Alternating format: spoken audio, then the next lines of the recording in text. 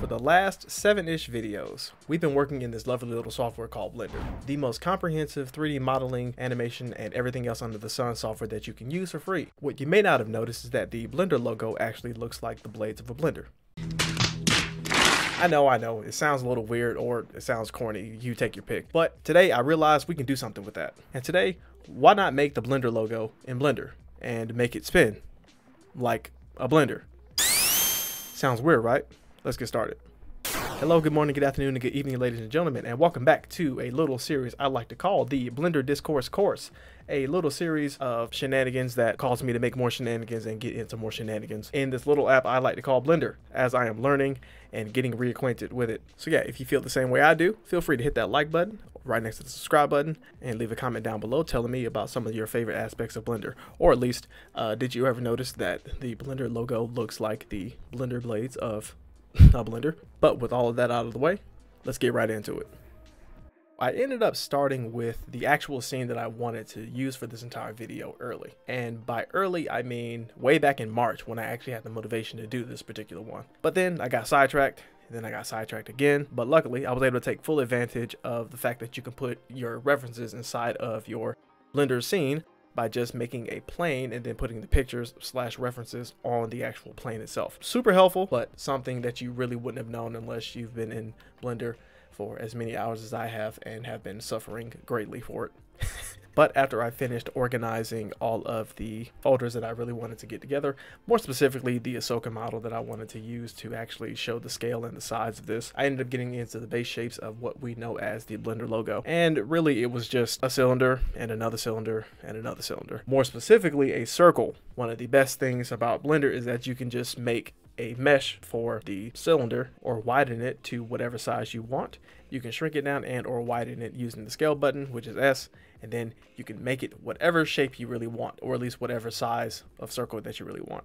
It didn't take me as long as I expected it to in order to make the entire logo, but you know, it's only six shapes, three circles, and technically three longer circles that you can just make from a cylinder, which I did, and then I just combined the meshes all down and then just made it into a flatter image, which you will see in a little bit.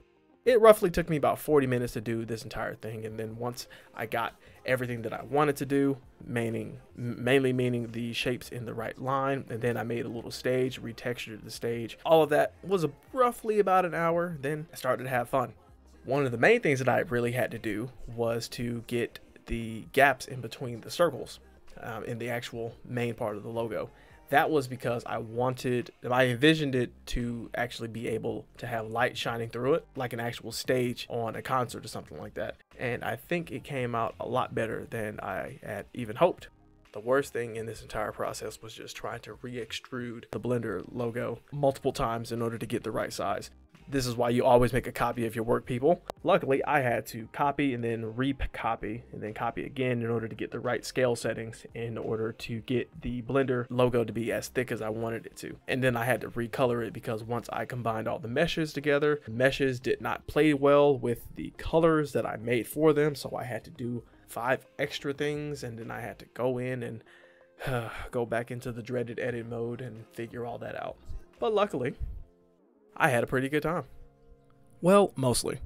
After recoloring and, well, technically reassigning the colors on the Blender logo and then messing around with the remesh tool to figure out what abstract shape I can get Blender to look like. Um, I kind of got back into figuring out how to do all this good stuff. It was all fun and games until Ahsoka came into the mix because she kind of broke everything. Not really. She kind of broke most of the plans for everything I was trying to do. Mainly getting everything to spin. What I mean by that is for the next couple of minutes, as I figure out how to actually position the camera, get everything together, her boots start flying off.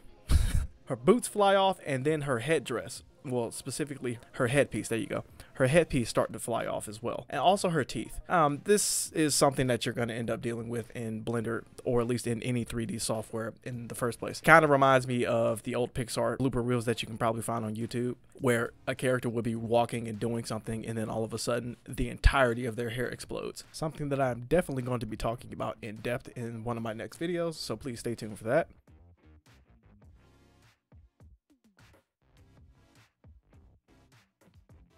Since I've been posing this Ahsoka model for roughly six months at this point, it hasn't really been that big of a challenge to actually get her in the right position and to make everything look natural mostly especially to have her tilt her head up and actually look up at the camera. Um you know that's the thumbnail for the video because it made sense to me. One thing i did hate like i said was the fact that her clothes kept popping in and out when they shouldn't have. So i had to figure out why that was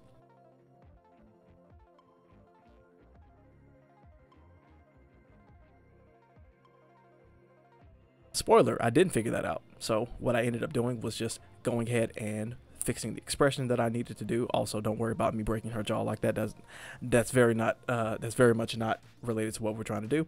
But I ended up parenting her camera to her foot and then parenting her actual model to the Blender logo itself, which kind of made sense. But at the same time, I think that is exactly when uh, the entire thing decided to just mess itself up.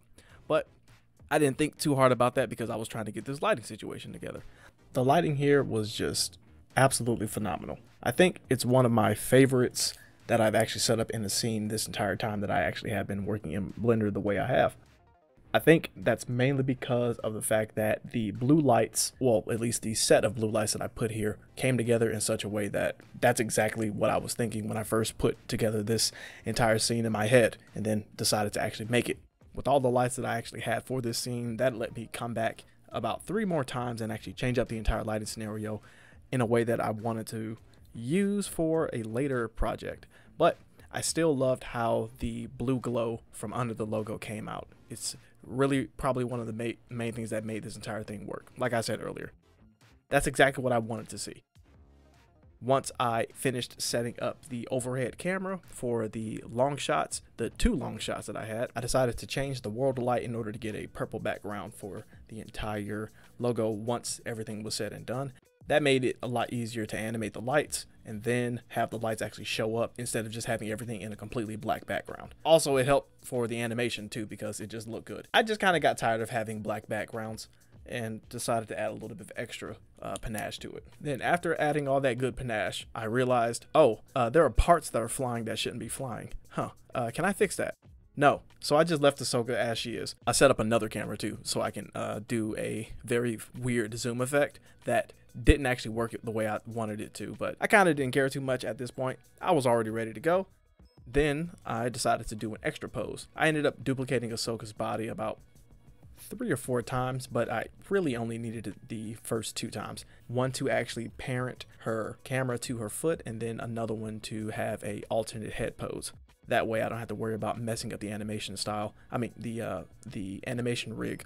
After I decided to do all of the testing and renderings, I decided to change her head pose a couple of times, and on top of that, I decided to change her facial expression too because it kind of didn't come out right when I actually did all the test renders. So off to the chopping block with that one. But with that being said, now it is time to get to rendering, or at least time to show you the finished animation.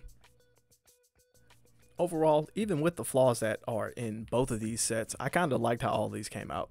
It was a nice little test that basically took a day to do. You can actually see her boots flying off and flying back in in each of these frames too, which, you know, I'm like, yeah, that was fun. But still, at the end of the day, I achieved my goal, even though there were still body parts flying around at the end of the day. so, yeah, with all that being said, thank you all for watching this little video of mine. If you enjoyed the video, please be sure to check out the rest of the Blender Discourse course playlist that is on screen right now, or at least it should be in a couple of seconds. And also leave a comment down below letting me know what you thought of the entire animation. I still think there's a lot of work that can be done, but for something that was more or less done in about 45 minutes, well, actually about two and a half hours or so, uh, I think it came out pretty good. I'm just glad it, you know, rendered on time and didn't blow up my computer again. Don't worry about that last part.